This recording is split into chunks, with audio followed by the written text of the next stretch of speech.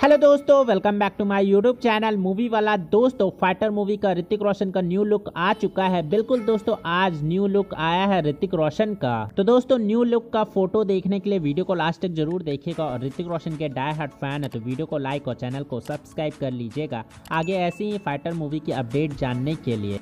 दोस्तों, आज है 9 नवंबर और आज ऋतिक रोशन का बॉडी एकदम रेडी हो चुका है, यानी ट्रांसफॉर्म हो चुका है फाइटर फ़िल्म के लिए। आपको बता दूँ दोस्तों, ऋतिक रोशन ने खुद ने बताया था कि उनका बॉडी ट्रांसफॉर्म हो जाएगा 9 नवंबर तक। और दोस्तों, आज है 9 नवंबर तो आज ऋतिक रोशन का बॉडी ट्रांसफॉर्म हो चुका है और रेडी हो चुका है फाइटर फ़िल्म के लिए। और दोस्तों, एक फ़ोटो भी आ चुका है। फ़ोटो आप स्क्रीन पे देख सकते हो। फ़ोटो में आप देख सकते हो ऋतिक रोशन का बॉडी का चेस्ट दिख रहा है। चेस्ट पे आप देख सकते हो दोस्तों, कितना ज़्यादा कट है। यानी दोस्तों बॉडी एकदम स्लिम और कट टाइप का होने वाला है। और दोस्तों, आप चेस्ट से अंदाज़ा लगा सकते हो कि बॉडी एकदम बवाल टाइप का होगा। हालाँकि दोस्तों सोलो फ़ोटो नहीं आया है ग्रुप फ़ोटो आया है और आप देख सकते हो ऋतिक रोशन का चेस्ट और दोस्तों, आपको ये भी बता दूँ, ये फ़ोटो आज ही का है। फ़िलहाल बात करें दोस्तों फाइटर मूवी के बारे में तो फ़िल्म का शूटिंग 15 नवंबर से मुंबई के बाहर स्टार्ट हो जाएगा और शूटिंग 10 दिन तक मुंबई के बाहर होगा और उसके बाद मुंबई में होगा। के अलावा दोस्तों, आपको ये भी बता दूँ कि फ़िल्म पैन इंडिया रिलीज़ होगी 25 जनवरी 2024 को।